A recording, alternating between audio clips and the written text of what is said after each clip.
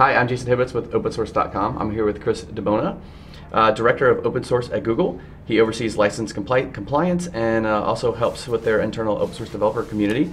So um, you basically built the open source um, initiative at Google from the ground up, starting in about 2004. Kind of, yeah. Yeah. What was that like? It felt. It doesn't sound like it was an easy task to do. No, no, it, it actually wasn't hard. You know, um, Google already had a number of open source developers internally when I got there, and they what they wanted by hiring me was to formalize it, make it easy, and as they grew, uh, to make it persist. You know, so that Googlers could still feel like they can contribute and and release open source pro- uh, projects, and and more importantly, that we could also use open source software inside the company.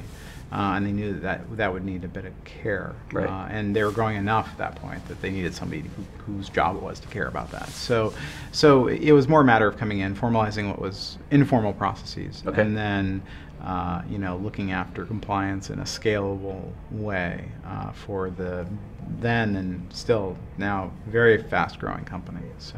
Okay.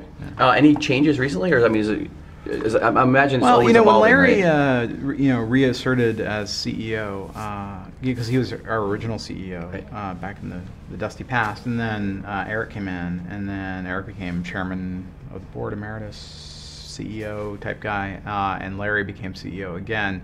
Larry changed how the company was organized internally. Um, which changed some aspects of the work, but not for the worse or better, just different. Okay, You know, yeah. so, but you know, the thing about I've been in large companies before and large organizations before, and you know, it's just a matter of saying, okay, here's how we're different now. Uh, if I were starting today, what would I do differently? And I, so I, I do this thing at work about every two or three years. I bring together sort of uh, the major stakeholders and say, okay, what are we doing right? What if we were going to start it today? How would we do it differently? And and and just try to adapt, you Right. know. And and I sort of take that as a measure of how I'm doing, you know. Because if they say to me, Chris, we're really screwing up this, this, and this, I know what to concentrate on. This is why we did a, a renewed focus on uh, Git infrastructure Mhm.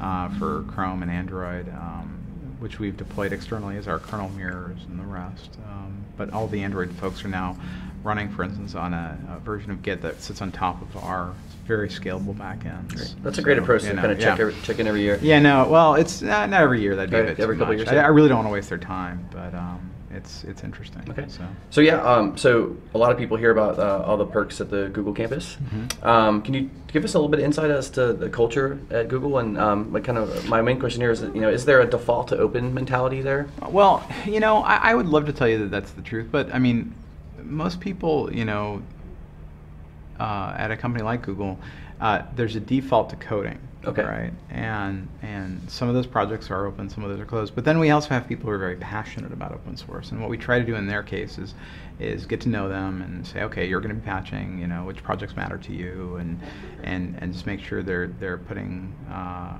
you know, both our best face forward, but also uh, meeting the right people in Okay. open source because um, it's very rare, but there are some projects that are very difficult to deal with uh, as, a, as a larger company and as an employee of a larger company. And so we make sure that they get the right, right kind of attention. Similarly, uh, you know, contributor license agreements Mhm. have become um, way more popular over the last couple of years. And some are completely signable, uh, and in fact are often based on the Apache contributor license Right, agreement, yeah. which is the same one we use at Google.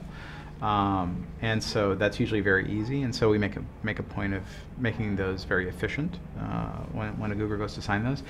Other CLAs are not as easy to sign because they carry copyright assignment and often patent assignment clauses that are too, you know, uh, grabby. Sure. You know, and so uh, in those cases, we usually end up pushing back on the project that wants that kind of thing, and they often change uh, because they still want our patches. Yeah. You know, um, and and then in some cases we'll release patches wholly separate from our project.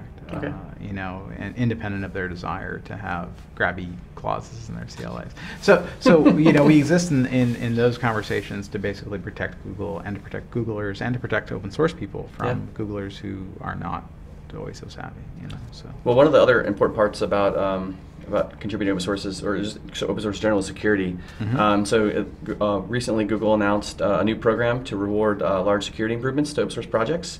Um, can you tell us a bit about that and, and Well, you see I, I'd love to take credit for it, but this came out of our security group, and they're they're just brilliant. Um, and they're like, hey, you know, we want to expand our bounties programs to these uh, very popular libraries.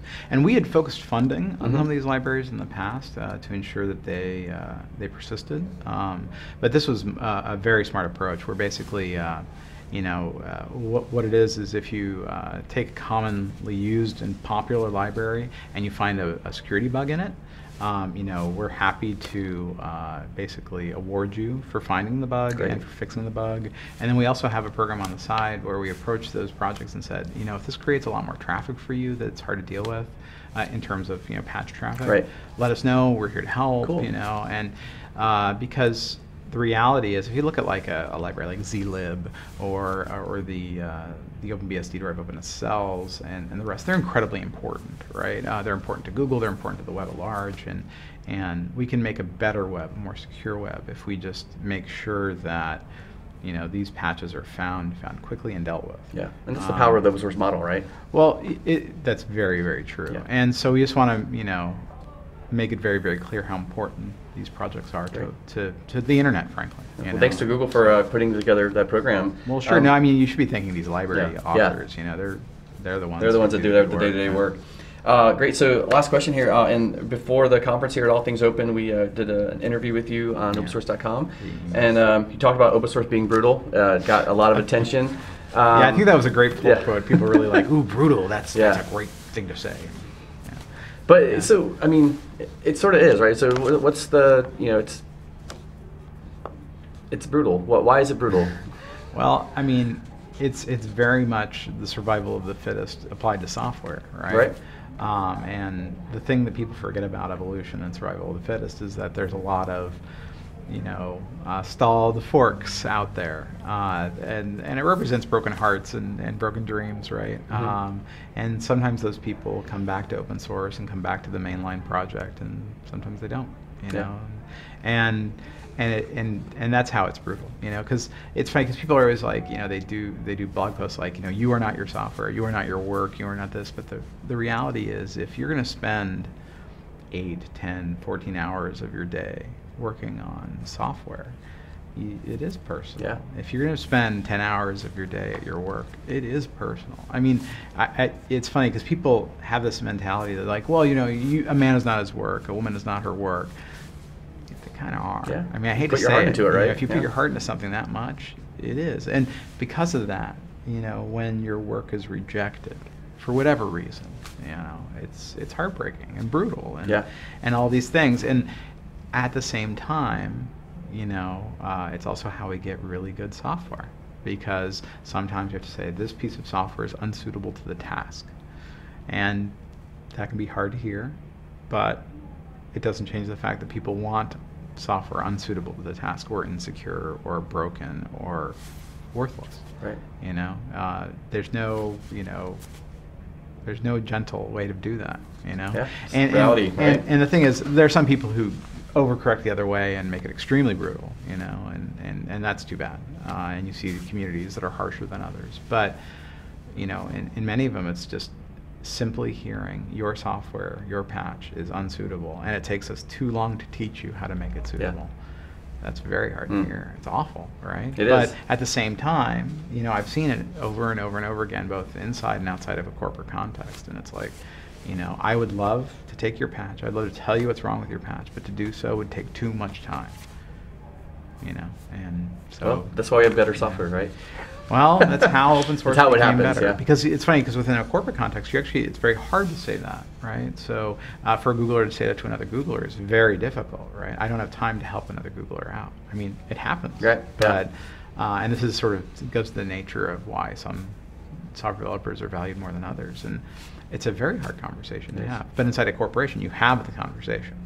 Outside in the open source world, people are just like, I'm not even gonna reply to this crap. You know, I'm just gonna you know black hole this person's email address. Look how much easier my life is. It now, is. You know. Uh, So- but uh, great. Well, Chris, we'll take you off the hot seat. Thanks so much for your time today. Sure, happy right. to.